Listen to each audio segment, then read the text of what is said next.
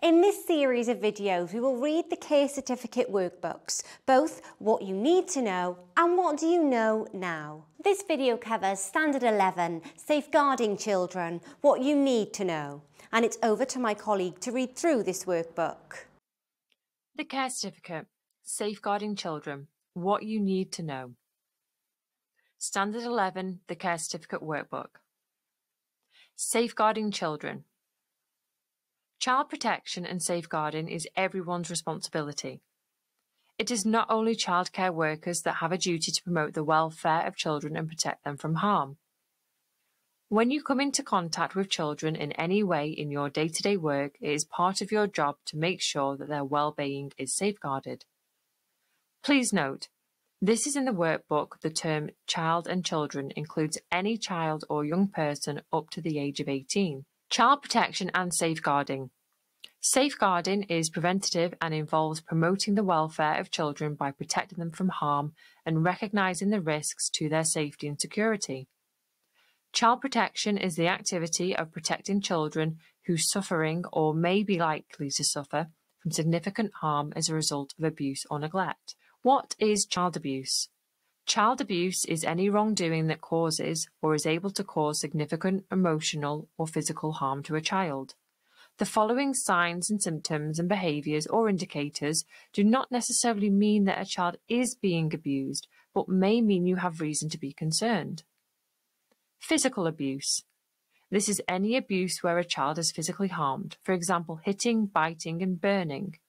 Signs and symptoms might be unexplained wounds, bruises, or broken bones. The child might make up stories to explain the injuries or try to cover them up with clothing. Emotional abuse. This means a child's emotional needs are not being met. This could include being made to feel inadequate or not feeling loved and secure. A parent or carer may not be talking to them enough or giving them the attention they need. Typical signs and symptoms could include delays in development, speech disorders, or a fear of making mistakes or overreacting to them. Sexual abuse. This could include this could involve children or young people being involved in sexual acts, being made to watch sexual acts or being shown pornography. Sexual exploitation, child sexual exploitation, CSE means that children are manipulated sexually from the, for the abuser's benefit. Typical signs and symptoms include awareness and knowledge of sexual activities beyond what you would expect at their age, as well as genital or anal pain, or itching, or sexually transmitted diseases, STDs. Exploitation. Exploitation means taking advantage of someone's vulnerability to treat them badly or for the abuser's benefit. This is a form of abuse where the child's basic needs are not met, for example, through lack of food, medical attention, or access to education, poor clothing, housing, hygiene, or parenting. Neglect could sometimes be happening as a result of a child being the carer or for a family member. Typical signs and symptoms may include always being hungry, poor personal hygiene, delays in development, tiredness, and looking ill and underweight. Radicalization. This is where Children and young people are taught extreme, often violent ideas based on political, social, or religious beliefs. Signs of exposure to radicalization could be behavioral changes, changes in the way they speak with others or having a new circle of friends, use of extremist te- terminology, and their reading material or messages. Child trafficking. This means recruiting, moving, or receiving a child through force, trickery, or intimidation to take advantage of them. Signs and symptoms could be dominating adult, accompanying the child at all times and speaking for them. The child could appear withdrawn, compliant, unkept, or show little or no use of the English language. Domineering.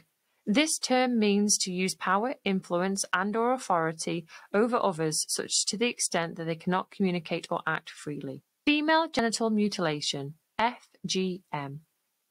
FGM is a removal, constriction, or other disfigurement of a girl's labia or clitoris for non-medical reasons, in most cases before they reach the age of eight. Some communities may use religious, social, and cultural reasons to try to justify FGM, but it is a form of abuse. Signs and symptoms can range from severe pain and bleeding and chronic infections to psychological mental health and sexual problems or damage to the reproductive systems or infertility. You need to be aware of the risk of girls being taken abroad to carry out FGM, and so you should be aware if they are taken on extended holidays. All forms of abuse are likely to create a change in behaviour of the victim. Behavioural changes include a child becoming withdrawn, timid, easily startled, or maybe boisterous, aggressive, attention seeking, or wanting to please. Depression, anxiety, self harm, eating disorders, and going back to younger behaviour. You might also have cause for concern if the child is not attending school regularly or is being admitted to several different A&E departments or GP drop-in centres. These could be ways for the abuser to cover up how often the child needs medical help. It is important to know that not all children will display the same symptoms and that usually there are more than one type of abuse happening, for example, both physical and emotional abuse. The impact of a parent's, carer's physical and mental health or domestic violence on a child's well-being. To grow up happy and safe, children need parents or carers who love, protect and care for them in a stable, safe and secure home. Physical care and daily routines are important for development, so anything that upsets routines can be unhelpful. If a parent or carer's physical or mental health is poor, this could be a risk to the well-being of their child. It may increase their vulnerability or slow their development. It is important to remember that a parent or carer's health might affect their ability to safeguard, but this is not necessarily so. Examples of possible harm are a parent or carer with mental health issues might feel unable to build attachments with their child, possibly causing emotional harm, or the child might be forced into decision making that they are not ready for. A child with a parent or carer who is blind or deaf may be at increased risk of physical harm as they might not fully be able to judge the dangerous situation. Seeing or hearing acts of domestic violence can have a similar effect on children as being emotionally abused. As well as feeling helpless, they may not feel safe. Research suggests that there is a high likelihood that aggression by adults at home can turn towards children present. It also suggests that stress of experiencing violence at home can impair the brain development on babies. Domestic violence is a risk to the child's physical, emotional and social development. Children's rights. As a worker, you have a duty of care to make sure that rights of all individuals are promoted that include children's rights. You may not directly care or support children or young people, but through your work you may, well, you may well come into contact with them.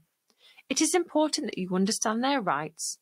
The Code of Conduct states that you should promote and uphold, uphold the privacy, dignity and rights, health and well-being of people who use health and social care services and their carers. So it is important to remember that children or young people can be carers too. The Human Rights Act 1998 gives a number of fundamental rights to every person living in the UK. Some of these rights include the right to life, freedom from torture or degrading treatment, the right to education, the right to liberty and security, protection from discrimination. The United Nations Convention on the Rights of the Child, UNCRC, is a worldwide agreement between countries as to the basic rights that children under 18 should have. And then if you click on the link,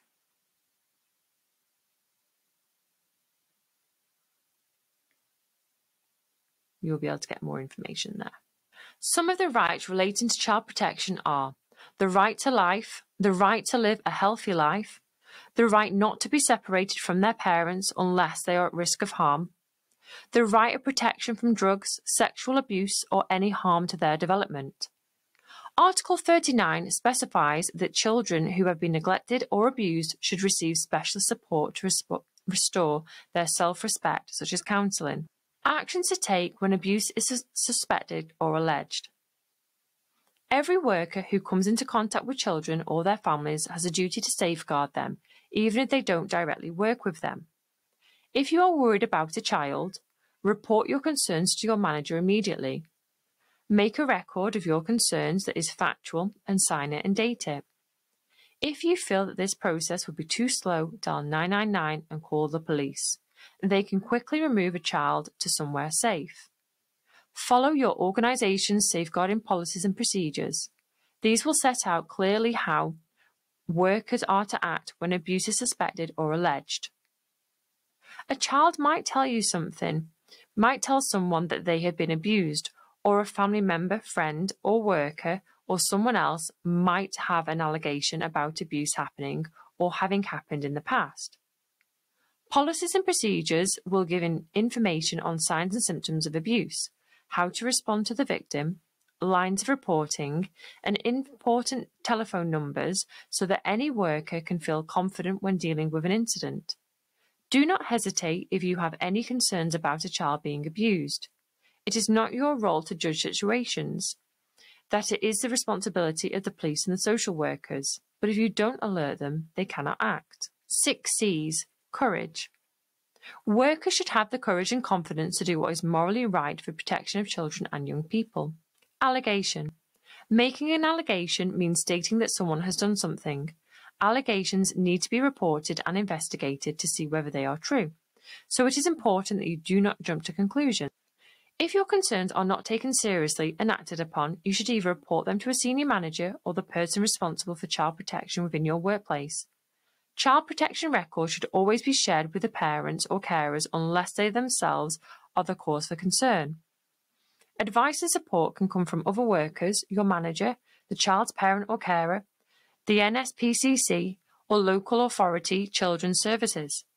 If an allegation is made against any volunteer, employee, childminder, or anyone living in the child's home, your manager will undertake the appropriate action as set out in the organisation's agreed ways of working. This may mean contacting relevant agencies. This reporting of unsafe or illegal practice in the workplace is called whistleblowing, and your organisation should have a specific whistleblowing policy and procedure in place. If your organisation is very small and does not have policies and procedures, then ask your employee about the agreed ways of working about whistleblowing. Internet and online social networking risks.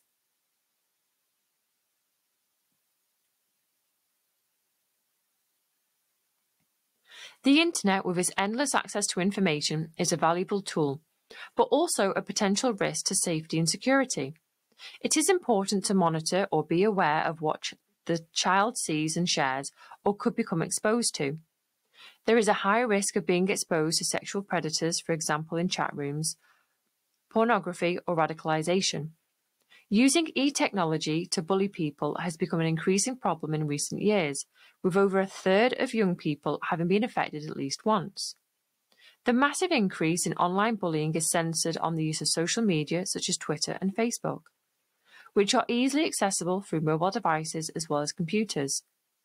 Examples include posting negative comments on someone's Facebook site, taking on someone's identity on the web to humiliate them, or harassing someone via their mobile phone. Legislation and safeguarding. When considering the welfare of children, there are several pieces of legislation that should be taken into account, as well as your own organisation's policies and procedures and ways of working. Legislation. Legislation is the laws and regulations and the government's official guidance on how they are to be implemented. The Children's Act 1989 protects the welfare of children who are at risk this tells you exactly what you need to do if you suspect a young person who is at risk of harm or in need of support.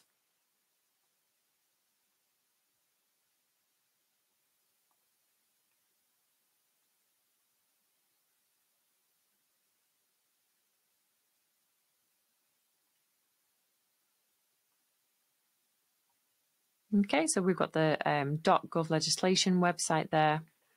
The Children Act 2004 this Act covers services that children and young people may access. It places a duty on local authorities and their partners to cooperate, and make sure that services work together and, where possible, have a joint plan developed in partnership with parents, children and young people. This is known as the Common Assessment Framework, CAF. The Act also encourages the establishment of local safeguarding boards and joint databases. Okay, and we can see on the legislation.gov website. The Sexual Offences Act 2003. This Act has two parts. The first one states what is considered a sexual offence, including physical and non physical contact. It defines what are sexual offences against children under 13 and under 16, and sets the age of consent at 16 in most cases. However, if an adult holds a position of trust in relation to the young person, for example, as their worker, teacher, trainer, the age of consent is 18. The second part of the Act deals with sex offenders register and civil protective orders. Okay, so you can see the information there. The Care Act 2014 brings care and support legislation together into a single act with new wellbeing principles at its heart. Although the Care Act is meant for adults in need of support and their carers, it also makes some provisions for children and young carers. Children who care for their parents in their own home are made part of the, pa- the parents' needs assessment in order to establish the support and help they and the help they need. The Children and Families Act 2014 provides young carers with the same help and support as adult carers. All carers under the age of 18 have the right to have their support needs assessed and local authorities must help them care for a family member as best they can. Great work on finishing this What You Need to Know booklet. In this series, we also have the What You Need to Know activity booklet that follows on from this video.